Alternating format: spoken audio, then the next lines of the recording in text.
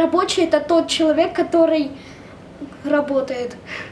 Работают те люди, которые еще с паспортом и без работы. Там проводятся конкурсы работ, и самый лучший, самый лучший на работу устраивается. На заводе обычно добывают нефть и лиш, лишнее сжигают, а, друг, а другое продают на бензоколонке. На заводе еще могут э, делать всякую одежду.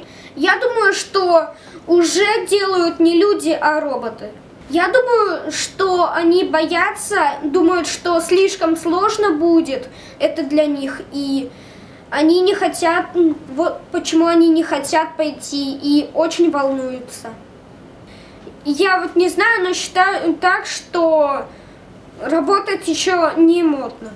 Ну, я бы стал пожарным, но на завод, если бы пожар, пожарным я не стал, я бы пошел на завод.